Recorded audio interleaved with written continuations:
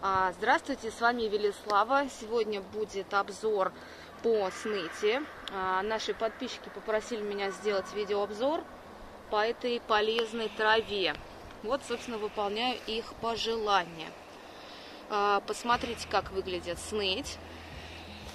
Наверное, каждый из вас встречал такую травку, но не уверена, что каждый из вас знал, что именно так выглядит сныть. Значит, сныть обыкновенная называется у нас это растение. На латыни растение называется аэгоподиум подагрария. Аэгоподиум это переводится дословно как козья нога. Это название закрепил за ней Карл Линней из-за внешнего сходства очертаний самих листиков с отпечатком козьего копытца. А, Вот сейчас крупным планом вам постараемся показать листик. А если кто-нибудь видел отпечаток козьих копытцев, можете сравнить, сходство действительно есть. Если кто не видел, пожалуйста, Google в помощь. Значит, второе слово подагрария происходит от греческого и дословно переводится как ножной капкан. Это связано с тем, что издавна а, это растение применялось а, при болях в ногах. А наше же название русское сныть, оно, а, ну, есть, такой, есть такая версия, что это видоизмененное слово снедь, что означает еда. И э, действительно встречаются другие названия сныти, такие как снить, снитка, снить трава. А, дело в том, что питательные свойства сныти были известны э, с, с давних пор. Может быть, кто-нибудь слышал из вас, э, есть такая поговорка «дожить бы до сныти».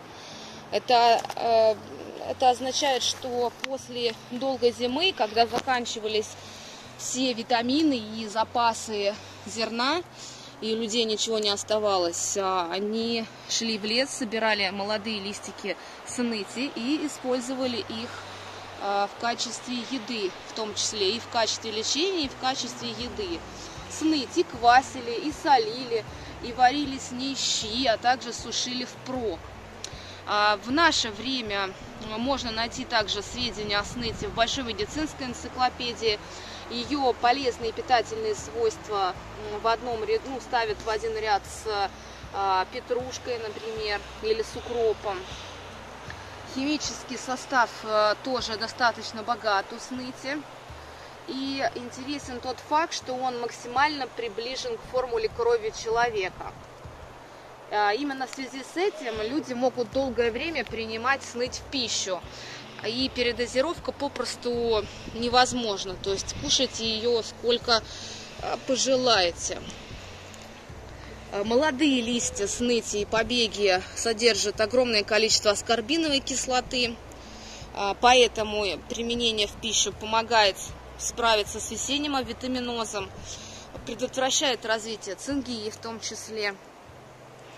А, Также у сныти, в сныти содержится яблочная, лимонная кислота, холин, каротин, кумарины, минеральные соли, различные эфирные масла. Среди минеральных солей э, соли калия в составе кальция, железа, меди. В общем, можно долго перечислять состав. Э, Ну, я думаю, то, что я перечислила, уже достаточно, чтобы убедиться, насколько полезна данная травка. А именно вот благодаря такому великолепному составу а, ее используют в качестве противовоспалительного средства, а, болеутоляющего, общеукрепляющего, желчегонного, мочегонного, противогрибкового, детоксиционного, а, цитотоксического. А, Применяется в качестве седативных а, препаратов. А, Саму сныть можно использовать не только внутрь, но и наружно в качестве компрессов из свежих листьев или из сухих листьев, неважно. Ну, конечно, лучше из свежих. При, значит, э, всевозможных э, ревматических заболеваниях, при артрозах, артритах, подаграх и тому подобному. А, Также при диатезах, а, при судативном, например, диатезе можно использовать а, компрессы из молодых листьев. при рожистых воспалениях и других проблемах с кожей. Что еще хотела сказать, помимо всего этого замечательного, что уже перечислила? А, забыла упомянуть, что при заболеваниях почек оно использ... трава используется, при заболеваниях желчного пузыря также применялась сныть. А, что еще, что еще забыла вам рассказать? А, вот, да, при лечении воспаления скелетных мышц, то есть при миозите, также сныть отличное средство. Э, в качестве противогрибкового средства его употребляют. Ну и а, поскольку я вам сказала, то, что в нем большое количество витамина С, то можно делать всевозможные салаты, э, готовить супы и прочие блюда. Кто не хочет э, э, пережевывать листья, да, кому-то может не очень э, приятен этот вкус, можно сухие листья перемолоть в порошок и в качестве приправы добавлять в готовые блюда.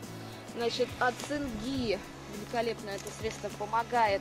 Для этого достаточно лист, свежий лист пожевать медленно, и будет достигнут достаточно хороший эффект против цинги.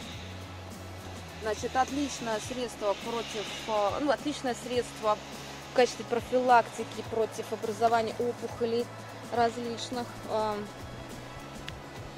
Что еще? Детекционное действие помогает справиться с интоксикацией организма, например, э, вызванного, я не знаю, там, химией, или любыми другими токсинами. Значит, сныть еще помогает бороться с тромбами, э, препятствует появлению тромбов, а также она растворяет уже образовавшиеся. Вот. А кумарин, который входит в состав сныти, он, значит, отлично чистит кровеносные сосуды. То есть он э, расщепляет липопротеины низкой плотности, которые засоряют кровеносные сосуды. Тем самым происходит очищение. Ну, а достаточно уже много чего вам рассказала про растения. У него действительно огроменный список э, использования и внутрь, и снаружи, и в качестве еды. Э, даже, забыла сказать, корневища у растения также применяются. Их используют в борьбе с депрессией, неврозами и бессонницей в виде э, ванн с отваром. Э, собирают сныть э, в мае. Лучше всего собирать сныть в мае, в июне, когда она молодая, свежая. Так что рекомендую, друзья, если вы живете в экологически чистом месте, обязательно заготовить для себя эту прекрасную травку. Э, сейчас с ней попробовать приготовить различные блюда, заготовить впрок, не упустить такую возможность. Эм, если у вас остались или возникнут какие-то вопросы, обязательно пишите комментарии. Э, можете также оставлять пожелания, о чем бы вы хотели, чтобы я сняла э, видеообзор. Надеюсь, вам было интересно э, мой рассказ про сныть. Оставайтесь на канале, подписывайтесь, те, кто еще не подписался, ставьте лайки. С вами ваша Велислава. Всего доброго.